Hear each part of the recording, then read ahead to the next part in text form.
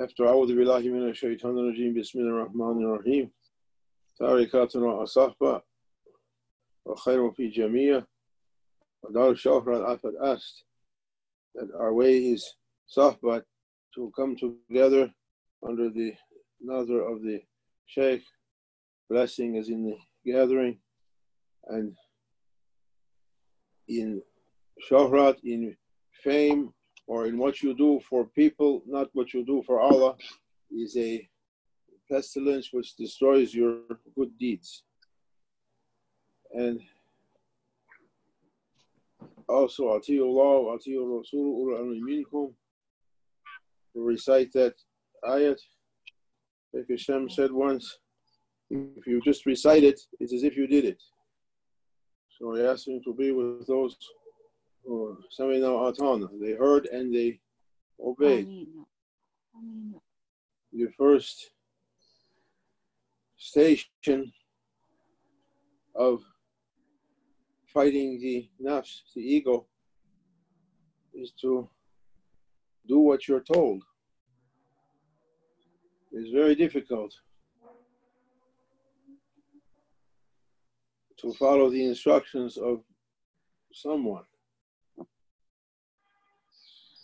For Allah subhanahu wa ta'ala, until we could be raised to the level of mushahida, to be like prophets and awliya, eh, when we think about Allah subhanahu wa ta'ala, it's our imagination. Simply. Sheikh Muhyiddin Ibn Arabi said, everyone is following the gods of their beliefs. And it's not necessarily the true thing, the true reality.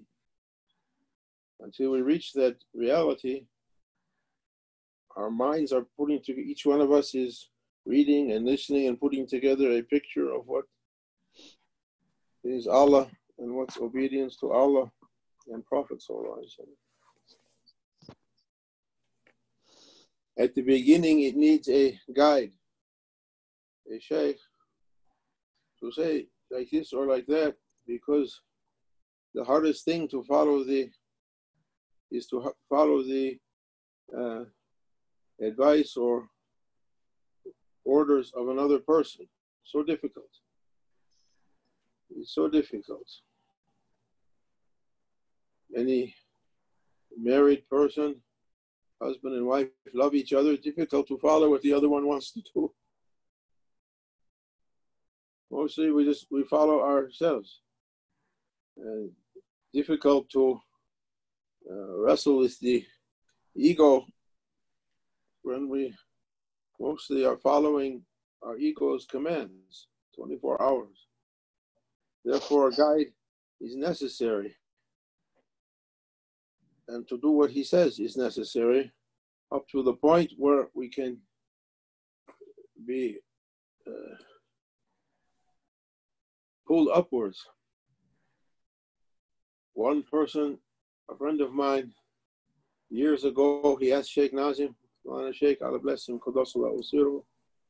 what's the uh, function of the Sheikh? Is translation needed for any of this, Hussein, or is it okay in English?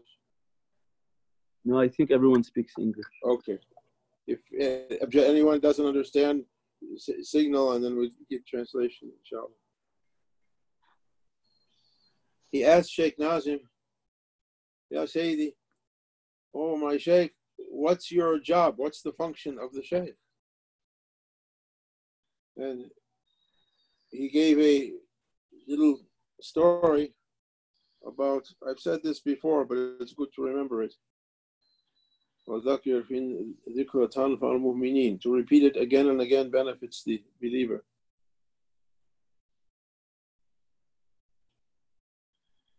In the old days, and in some countries without uh, technology, they grow the sugar cane in villages, and the men cut down the sugar cane with machetes and bring it to a central location and they put it into a wooden uh, tub, like a canoe, like a boat.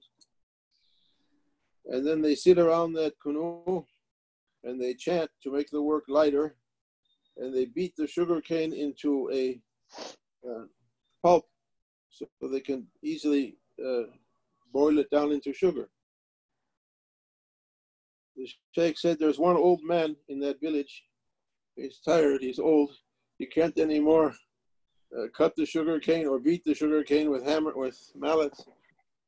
So his job is to sit in the front of the canoe, the boat, and while the workers are chanting, he goes, huh, huh, huh, beat the sugar cane.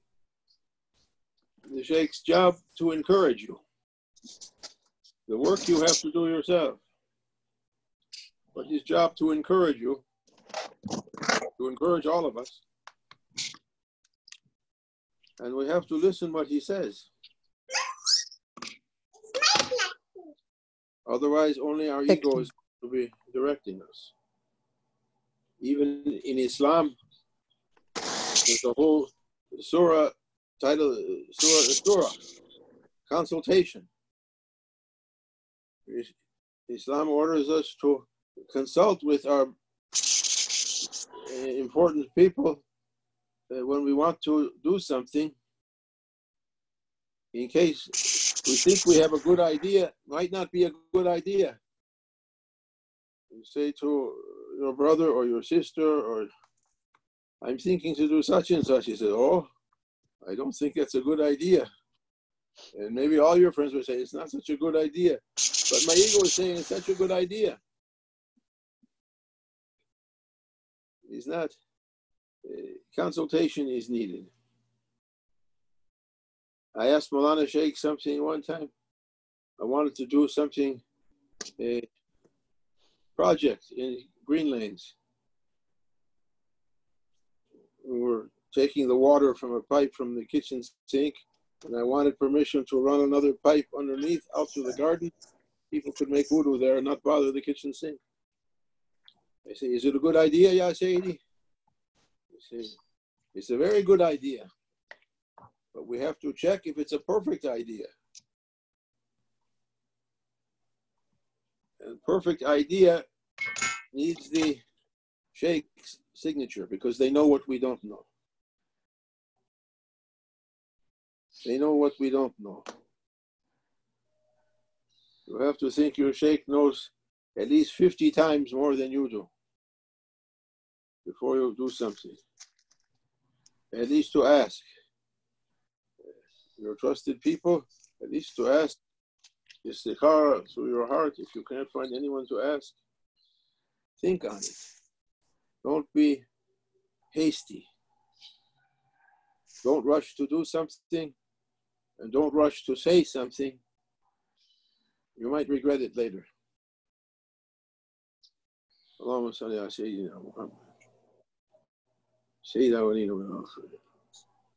As an exercise to keep the ego under reins, under in check. And we're asking to follow our faith from beginning level to go higher. To reach areas yet we didn't reach it. Human beings have been honored by Allah subhanahu wa ta'ala. Barakat karamna, Bani Adam. We honored the children of Adam and Eve. He honored us with certain abilities that's not given to other creatures, even angels. when Allah subhanahu wa ta'ala created Sayyidina Adam, he said, This is my deputy, make sajda to him. And the angels say, What's to be? How we're going to make sajda to people who are going to make fitna and shed blood. And Allah said, I know what you don't know. and he taught Adam from the higher knowledge and said to him, Say to the angels, tell them their names, says Holy Quran. It means uh, to show something from the precious favors that Allah gave to human beings that they never thought of. And, uh, and Adam showered them their names, their realities, showing them what they never thought of. And the angels were stunned. They say,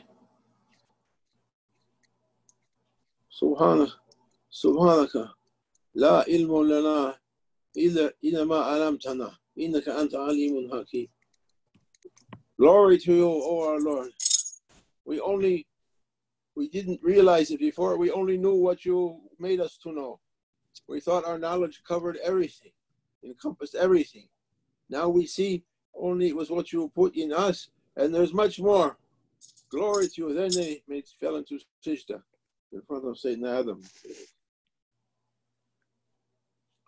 So human beings, we're all the children of Adam and Eve. We have something, favors from Allah that nothing else has in creation.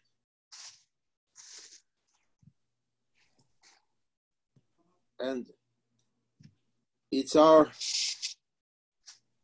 uh, duty or our high, let's say our highest calling as human beings to learn about those heavenly gifts that Allah gave us, to run after it. I was looking Imam Ghazali, uh, Mishkat Anwar. He said you have to hunt it like a hunter hunts a prey to the ends of the world. The Prophet said, seek knowledge even up to China. This is what he meant. Seek knowledge of the hidden capabilities that Allah gave us that we didn't know about it before. We think everything is in the realm of our thinking, our mind, and our imagination. But there's something beyond that. Prophets especially the seal of prophets, and some awliya has that capability to look into heavenly realms, to look to the uh, Lawh Mahfuz, the preserved tablet. For us, it's only a word, we don't know what it is. To look to higher uh, levels. They say, Mulk or Malakut or Jabarut, or Lahut, or Hahut. They're just words in Sufi books for us. But we have the capability to reach it.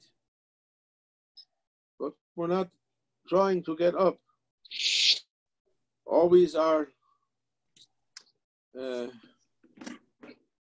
senses are pulling us back down. Imam Ghazali said, our senses are dragging us back to the world of sensation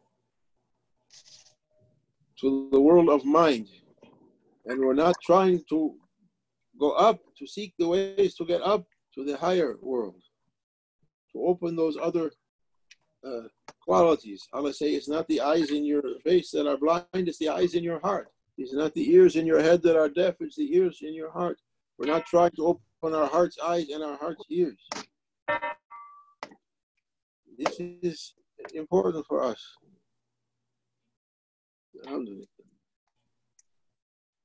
We need to give some time, in addition to our praying and fasting and zakat and sadaqah and hajj and dhikr, we need to give some time for meditation or muraqabah, muraqabah. Muraqabah. Watch it. Watch it. So sit. Sayyidina Najmuddin al-Kubra. Allah bless him. Qadasallahu siruhu. A huge uh, wali. He said, look after or watch your breath, your breathing. Holy Quran says, فَاسْتَعِذْ بِهَا وَنَفَخْتَ fihi min ruhi. We blew into Adam from our ruh, from Allah, from His divinely spirit, blew into us. He blew our breath into us. Our His spirit comes into us through the breath. In one ayat, it's the uh, attributive pronoun. We blew from our ruh into Him. And we have to look and see what's coming through our breathings. He said, we repeat it as we said before, Allah, the name Allah in Arabic, Alif Lam Lam Ha. Alif Lam is the definite article, specifies something. The picture, the wall, the curtain, the chair, the speaker. Lam makes it more strong.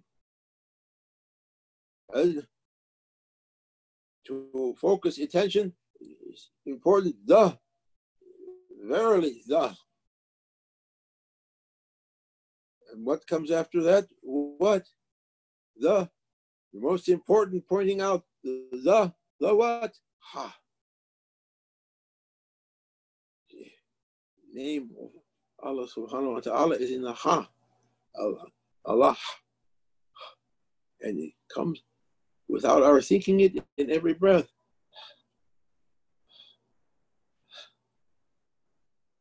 He said, be heedful when you're breathing, when you're saying, ah, it's not an ordinary sound you make. And one of the I'm reminding myself too. One of the principles of Naqshbandi Tarika to be aware of your breath, to be for some time to sit and pay attention to your breath. Oh, oh. Watch your breath. Leave your thoughts to go where they're going to go. Leave your senses to go where they're going to go. Asking the divine spirit to come and to open our higher possibilities. I can't say more than that. This Sheikh didn't speak about something unless he reached it. We're beginners. We're saying only at the beginning. I'm also a beginner. Even became old. How many people became old and never reached their real humanity? Sheikh Hashem used to tell a story for one of the murids of Sayyidina Khalid Baghdadi, Allah bless him. He was in Sham, Damascus, at the time of the plague, Black Death, they used to recite. Ali Ashtiani looked up in some old Farsi books for uh, Khalidi Naqshbandi.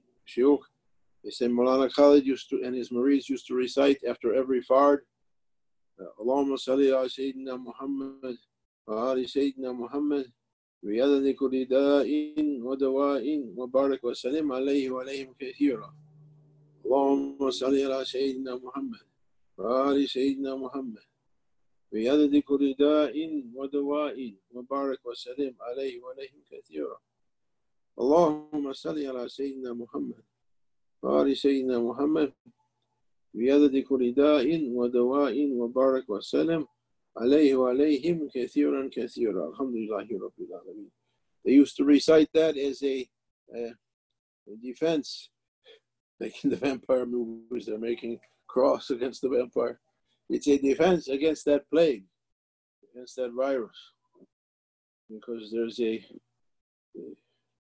they like to make everything physical there's another element to this what's going on now affecting the whole world a spiritual element and we're asking the protection of prophets Allah, and awliya against the evil. So one of the murids of Mulana Khalid, he came to his sheikh one morning and the sheikh said to him, Oh, my son, I have a job for you today. I want you to go to the cemetery and take wisdom from there. He said, Samina Atana, we heard you, we hear and we obey, as you say, Ya. And he went, Salaam alaikum, and he went to the cemetery. The cemetery had a high wall around it in that place. When he came to the gates of that cemetery, he found one strange person sitting up on the wall. And the person said to him, Why you came here? He said, I'm on an important job for my sheikh, leave me alone. He said, I'm going to come with you. From the beginning, this person was bothering the murid. Something about his manner was irritating.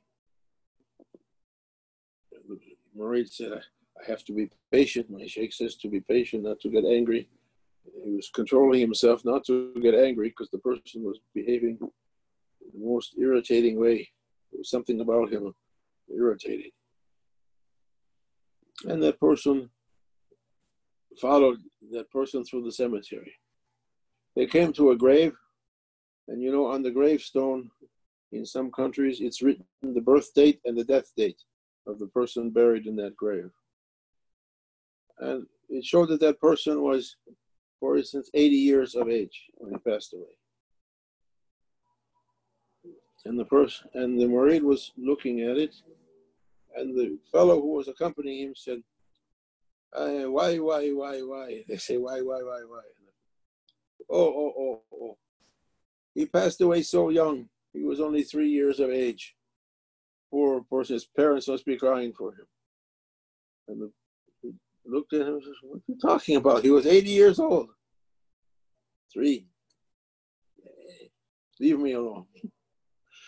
He went to the next grave. He was a famous uh, alim and hafiz. Passed away 90 years of age. Why, why, why, why, why, why? Only two years old. How his mother is crying for him passed away so young. What you're saying, he was 90 years old. He could hardly move. He was an old man. No, two years. Leave me alone. And like that, every grave they went to, there was no one in that cemetery more than five years old. Though all of them were in their 70s, 80s, 90s. Prophet said, mostly my nation passed away in 60s and 70s. Nowadays, with technology, we have extra time. May Allah make it to make us to use it uh, well. He, that person pestered that guy all the way up to the gates of the cemetery. Said, "Leave me, leave me. I don't want to hear anything more from you. And I'm going back to my sheikh." And he he started back for his sheikh's dargah. When he got there, he found that guy from the cemetery sitting with his sheikh the crazy one from the cemetery. And they were talking about him. The crazy guy was saying, Yamun Khalid, I don't know how you're patient with such a murid. So stupid. This guy is a real ahmak, a real idiot, fool. And Mulana Khalid said, Yeah, I don't know. There's nothing I can do. It's my fate. I have to carry this guy. yeah, it's like that. He's an idiot. And they're calling, as if he's not standing there. They're saying how bad he is. And he's controlled. The Murid is controlling himself. I can't get angry. This must be a test. He was keeping himself, keeping him, keeping himself, and they're showering him with uh, not curses, uh, putting him down, down, down, dissing him, uh, dissing him, disrespecting. You disrespected me. Bayezid Bastami said, I always respected everyone. I never expected anyone to respect me back. But no one has that good manner anymore. They don't even teach it. They say, You disrespected me. Oh, we're not going to disrespect you. You're an idiot. But never mind. So they were showering that guy, and he was the murid, and he was uh, keeping himself. When the sheikh looked to his heart that he was that the murid was steady, not getting angry, he said, "Okay, it was a test." That this person here is Sayyidina Khidr alayhi salam. And he came to the cemetery to teach you a lesson. Always Khidr comes with something to make you angry. As he came to Sayyidina Musa with something to make him upset. And he was teaching you that although these people became old in physical years, they didn't reach their real possibility as human beings till near the end of their life. Therefore, 80 years old really was five years, three years old, two years old, five years old. They never reached it. So take a lesson. Intend and try to be like that hunter Imam Ghazali was speaking about, to chase that quarry, to chase your real possibilities, like the hunter chases the prey up to the end of the world. Learn the means for it and try to reach it. Begin to watch your breath. Spend some time every day to sit.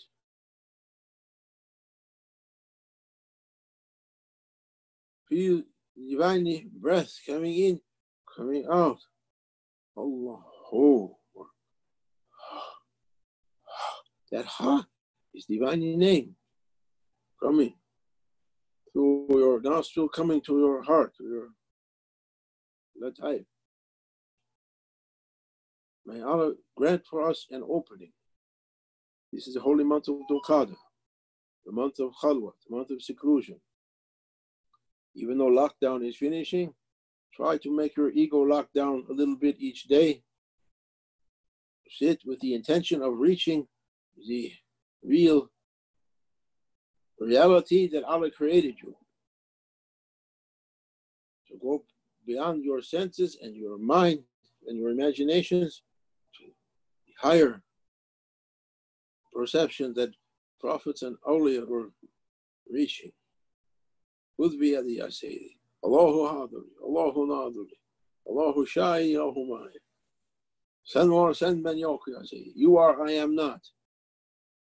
These are all to trigger idea or something so our imagination and then to go beyond. To go beyond to the level of, of witnessing. Try to try to give some time for that exercise during this holy month. I'm trying also, inshallah, may Allah grant us by the blessings of Prophet Sallallahu Alaihi Wasallam and awliya to come up, even a little bit to come up through this holy month. We're intending to reach. وَعَمِلَ اللَّهُ تَوْفِيقِ بِحَرْمَةِ الْحَبِيبِ بِحَرْمَةِ الْفَاتِحِ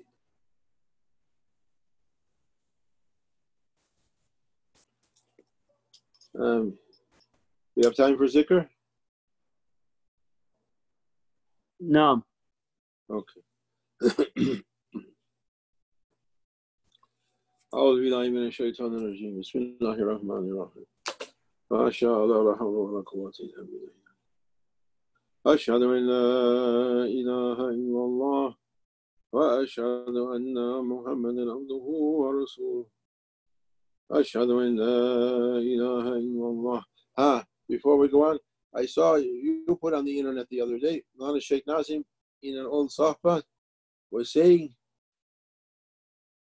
pay heed to what you're chasing after in this life. What's the prey you're chasing after? As Imam Ghazali said. That's why it stuck in my mind. We spend all our lives chasing after this and that, this and that, and all of it coming to me nothing in the end. Run after the important one, the important prey, to reach your real eh, possibility as Allah's Khalifa. أشهد أن لا إله إلا الله وأشهد أن محمدا عبده ورسوله. أشهد أن لا إله إلا الله.